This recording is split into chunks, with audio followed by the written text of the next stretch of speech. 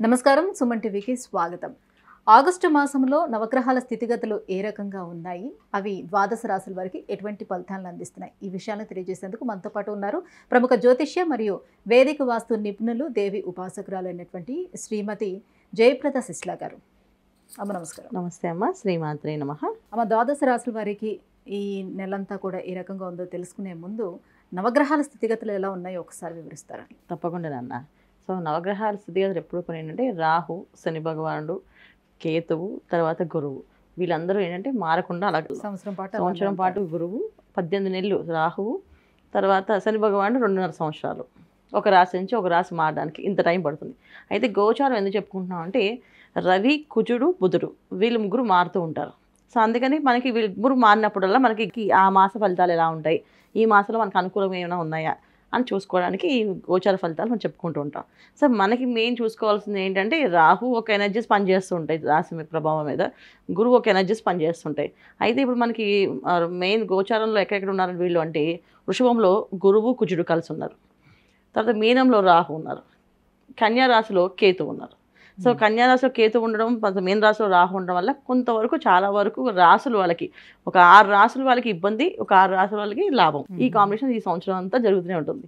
అయితే ఎవరెవరికి ఇబ్బంది వస్తుంది ఎవరెవరికి కొంచెం ఉపశమనం వస్తుంది ఎవరెవరికి కొంచెం కలిసి వస్తుంది అనే విషయంలో గోచార ఫలితాల్లో కొంత కొంచెం ఉపశమనం అంటే మరీ ఊపిరి పట్టేసి బిగించే కంటే కొంచెం ఫ్రీ అవడం అనేది జరుగుతూ ఉంటుంది కనుక చూసుకోవచ్చు అనమాట సో మనం చూసుకోవాల్సిన విషయాల్లో ఏంటంటే ఈ మాస ఫలితాల్లో మేషరాశికి ఎవరు యోగిస్తారు ఎవరు యోగించట్లేదు?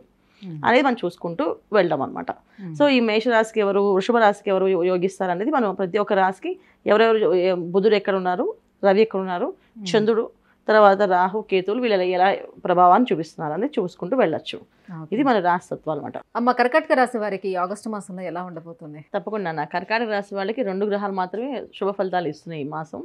సో అది అవి కూడా ఏంటంటే లాభస్థానంలో ఉన్న గురుకుజులు వీళ్ళిద్దరూ మాత్రమే వీళ్ళకి శుభగ్రహాలు శుభ ఫలితాలు ఇచ్చే అవకాశం ఉన్నాయి. మిగతా అన్ని కూడా సామాన్య ఫలితాలే వస్తున్నాయి. సో ఈ శుభగ్రహాలు అంటే ఈ రెండు ఏమేమి ఇస్తున్నాయి వీళ్ళకి అంటే శుభం అంటే ఎప్పటి నుంచో పెండింగ్లో పడిన కొన్ని విషయాలు వాయిదాలు పడుతున్న విషయాలు కోర్టు విషయాలు అనుకోండి ఆర్థికపరమైన విషయాలు అనుకోండి ఆరోగ్యపరమైన విషయాల్లో క్లారిటీ రాని విషయాలు అంటే ఒక సమస్య అంటే అష్టమస్యని కూడా ఉన్నారు వీళ్ళకి. సో దానివల్ల ఏంటంటే ప్రాబ్లం ఉంది హెల్త్ ప్రాబ్లం ఉంది ఆ ప్రాబ్లం ఏంటో అర్థం కావట్లేదు. కానీ దానికి టెస్టులు చేపిస్తున్నాం రిజల్ట్ మళ్ళీ నార్మల్గా వస్తుంది. కానీ మేము హెల్త్ సఫర్ అవుతున్నాం. అనే భావం నుంచి క్లారిటీ వచ్చే అవకాశం ఈ మాసంలో వీళ్ళకి ఎక్కువగా ఉంది. ఆర్థికపరంగా ఏంటంటే కోర్టులో ఎప్పటి నుంచో ఆస్తులు పెండింగ్ పడిపోయిన వాళ్ళకి. అది వాయి ఇవాళ వస్తుంది రేపు వస్తుంది ఆ ఆస్తి మాకు ఇవాళ వస్తుంది ఇవాళ అంతుంది ఇవాళ తీర్పు వస్తుంది అనుకుని వాయిదా వాయిదా పడుతున్న వాళ్ళకి ఈ మాసంలో ఆ తీర్పు వచ్చి వీళ్ళకి అన్ని అనుకూలంగా మారే అవకాశం ఎక్కువగా ఉంది. తర్వాత వీళ్ళకి వివాహ విషయంలో చేసుకోము మాకు ఇప్పుడు అప్పుడే పెళ్ళొద్దు అనే పిల్లలు కాస్త వివాహం చేసుకుంటామని చెప్పి వాళ్ళు తల్లిదండ్రులకు ఒక మంచి న్యూస్లా చెప్తారు కనుక వివాహం అయ్యే అవకాశం. కుదరడము సెట్ అవ్వడం చదవడం పెళ్ళో ముహూర్తం పెట్టడం జరిగిపోతాయి. ఎందుకంటే శ్రావణ మాసంలో ముహూర్తాలు ఉన్నాయి కనుక చేసేసే అవకాశం కూడా ఉంది. అన్ని ఎప్పటి నుంచో అవ్వట్లేదు అవ్వట్లేదు అనుకునే వాళ్ళు పెళ్ళి కార్డుతో సహా పంపించి పెళ్ళి అయిపోతే రండి మీరు మా పెళ్ళికి రండి అని చెప్పి చెప్పే అవకాశం ఎక్కువగా శుభవార్తలు చెప్పే అవకాశం ఉంది. సో లాభస్థానంలో గురువు ఉండడం వల్ల వీడికి కొన్ని లాభమైన పనులు అన్నీ కూడా శుభ శుభకరమైన పనులు అంటే ఇంటికి కావాల్సిన శుభకార్యాలు అన్నింటిలో కూడా యోగాలుగా బాగున్నాయి వీళ్ళకి. తర్వాత ఇంటి సంతాన భాగ్యం కూడా ఈ మాసంలో వీళ్ళకి కలుగుతుంది. ఇంకా ఎవరెవరికి బాగాలేదు అని అంటే ఉద్యోగం చేసే వాళ్ళకి బదిలీలో రా అనేది పెద్దగా అవకాశం. దానివల్ల కొంచెం ఇబ్బంది పడే అవకాశం ఉంది. తర్వాత నవమ రాహు ఉండడం వల్ల తల్లిదండ్రుల నుంచి వస్తుంది ఇస్తామని చెప్పి మాట ఇచ్చిన వాళ్ళు కొంచెం ఇవ్వకుండా ఇబ్బంది పెట్టే అవకాశం ఉంది. తెలియని ఖర్చులు నెత్తిమే పడి కొంచెం ఖర్చు పెట్టే అవకాశం ఉంటుంది. వచ్చేస్తున్నా అనుకుని ఉన్నది ఖర్చు పెట్టుకొని దానికోసం ఎదురు చూడడం అనేది జరుగుతూ ఉంటుంది. అదొక ఇబ్బంది ఉంది. సో లేని విషయాల్లో మనది కా మనకి క్లారిటీ లేని విషయాల్లో డబ్బులు ఖర్చు పెట్టకుండా ఉండడం మంచిది మంచిది వీళ్ళకి. సో ఉన్న స్థలాలు కొనడం లేకపోతే బిజినెస్లు చేయడం ఇవన్నీ శ్రేయస్కరమైన కొత్తగా ప్రారంభం చేసే వ్యాపారులకు మాత్రం ఏంటంటే క్లారిటీ ఉంటేనే వ్యాపారం మొదలు పెట్టాలన్న ఎందుకంటే వ్యాపార విషయంలో ఏంటంటే నైన్త్ హౌస్లో రాహు తర్వాత అష్టమ స్థానంలో శని భగవానుడు. ఈ రెండు ఏంటంటే కొంచెం కాంబినేషన్ అంటే ఇచ్చినట్టు ఇస్తారు లాగేసుకుంటారు. సో అంటే ఎలా ఎలా లాక్కుంటుంటే మనం టైట్ చేస్తారు. అష్ట దిగ్బంధన అంటారు కదా అలా దిగ్బంధనలు పడేస్తారు. సో అటు వెళ్ళలేము ఇటు రాలేము. అలా ఉండిపోతుంది పరిస్థితి. అందుకని ఒకటికి పదిసార్లు ఆలోచించి నిర్ణయాలు తీసుకోవడం వల్ల వీళ్ళకి అనుకూలమైన ఫలితాలు వస్తాయి. సో కర్కాటక రాశి జనరల్గా ఏంటంటే వీళ్ళకి ప్రతిదీ పాజిటివ్గా ఆలోచించడం అలవాటు. ఇది కూడా మనకు మంచిగా జరిగిపోతుంది. పాజిటివ్గా అవుతుందా అనుకొని ముందుకు వెళ్ళడం వల్ల కొన్ని ఇబ్బందులు ఎదురయ్యే అవకాశం ఉంది. దాన్ని కొంచెం వీళ్ళు ఆలోచించి చేయాలి. వ్యాపార విషయంలో. ఉద్యోగస్తులకి సామాన్యమైన అంటే వాళ్ళకు ఏదో ప్రమోషన్లు వస్తాయి వస్తాయని ఆశపడుతుంటారు అది ఈ మాసం కూడా అలాగే ఆశపడతారు కానీ రావు జరిగే పని అయితే లేదు ఈ మాసంలో వీళ్ళకి. అనుకూలంగా జరిగే అయితే లేదు. తర్వాత ఇంకే ఇంకేంటంటే ల్యాండ్ విషయంలో స్థలం కొందాం అనుకునే వాళ్ళకి స్థలం ఎప్పటి నుంచి కొందాం? ఆ స్థలాన్ని కొంచెం కొనగలుగుతారు. ఇల్లు కట్టడం కష్టం కానీ స్థలం కొనడం అనేది ఈజీగా ఉంటుంది వీళ్ళకి. స్థలాలు తీసుకోవడం కానీ ఎప్పటి నుంచో పొలం కొందామని కానీ ఆ పొలం మన పైన ఒక పొలం రిజిస్ట్రేషన్ చేసుకుంటే బాగుంటుంది అనుకునే వాళ్ళకి అది అవకాశం ఉంటుంది. తర్వాత రియల్ ఎస్టేట్ వ్యాపారాలు చేసే వాళ్ళకి రియల్ ఎస్టేట్ వ్యాపార పనులు అవి అవి వాళ్ళకి కాస్త డబ్బులు ఇంటికి వచ్చే అవకాశం వీళ్ళకి లాభంగా ఉంది.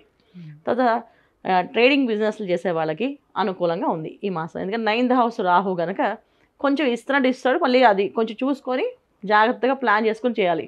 సో పెట్టుబడి విషయంలో తక్కువ పెట్టుబడితో అది ఒకటి వచ్చినా రాకపోయినా మనకు పర్వాలేదు అనుకొని ఆ విధంగా పెట్టడం వల్ల లాభం రావచ్చు. అది బాగా లాభం రావచ్చు లేదా నష్టం పోవచ్చు. ఇవి కొంచెం జరిగే అవకాశం. ఎందుకంటే అష్టమశని నవమ రాహు ఈ రెండు కొంచెం ఇబ్బంది పెట్టే అవకాశం ఎక్కువగా ఉంటుంది. ఇచ్చినట్టు ఇస్తారు లాక్కుంటారు. అదొకటి జాగ్రత్తగా చూసుకోవాలి. తర్వాత ఇంకా ఉద్యోగాల కోసం ప్రయత్నం చేసే వాళ్ళకి ఈ ఉద్యోగాలు దొరికే అవకాశం ఉంది. ఉద్యోగం కోసం కాంపిటీషన్ ఎగ్జామ్స్ ఎవరైతే రాస్తారో ఆ ఎగ్జామ్స్ పాస్ అయ్యే అవకాశం ఎక్కువగా ఉంది. సో ఈసారి వీళ్ళు ఖచ్చితంగా ఆ జాబ్ సంపాదించుకునేది బాగా పుష్కలంగా కనిపిస్తాయి కనుక చేసుకోవచ్చు.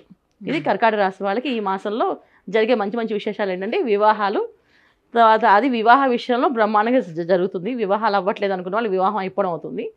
ఆర్థిక పరంగా కొంచెం సామాన్యంగా ఉంది సో మిగతా విషయాలన్నిటి కూడా బాగానే ఉంటుందన్న. మరి ఇంకా ఎటువంటి పరిహారాలను పాటించుకోవాలి? ఏ దైవాన్ని ఆరాధన చేసుకోవాలి? ఖచ్చితంగా గురువు లాభస్థానం ఉన్నారో. ఈశ్వర ఆరాధన చేయడం మంచిది. పరమేశ్వరుని ఎక్కువగా కొలవడం వల్ల శివారాధన శివాలయానికి వెళ్ళడము సోమవారం శివాలయంలో వెళ్ళి అభిషేకం చేయించుకోవడం రుద్రాభిషేకం చేయించుకోవడం వల్ల వీళ్ళకి కొన్ని పనులు అదే ఇప్పుడు నైన్త్ హౌస్ రాహు అష్టమంలో శని భగవానుడు ఇబ్బందులు రాకుండా బయటపడే అవకాశం ఎక్కువగా ఉంటుంది కనుక గురువు ఒక్కటి బాగా అనుకూలిస్తూ అనుకూలంగా లాభస్థానంలో గురువు ఒక్కడే యోగిస్తున్నాడు కుజుడు కొన్నా యోగిస్తున్నాడు లాభస్థానంలో. కాకపోతే కుజుడు యోగించినప్పటికీ గురువు ఉన్నారు కానీ గురు బలం ఎక్కువగా ఉంటుంది కనుక ఆ కర్కాటక రాశి వాళ్ళకి గురువు ఉచ్చస్థానం కనుక అక్కడ ఖచ్చితంగా మంచి మంచి లాభాలే వచ్చే అవకాశం ఉంది కనుక చేసుకోవచ్చు. వీళ్ళు ఈశ్వర ఆరాధన చేయడము శివాలయానికి వెళ్ళడము సోమవారం రుద్రాభిషేకం చేయించుకోవడం వల్ల మంచి ఫలితాలు అందుకునే అవకాశం ఎక్కువగా ఉందన్న మా కర్కాటక రాశి వారికి ఆగస్టు మాసంలో ఎలా ఉండబోతుంది? ఎటువంటి పరిహారాలను పాటించుకోవాలి? ఈ అంశాన్ని తెలియజేసినందుకు ధన్యవాదాలు. నమస్తే అమ్మ. శ్రీమాత్రే నమ.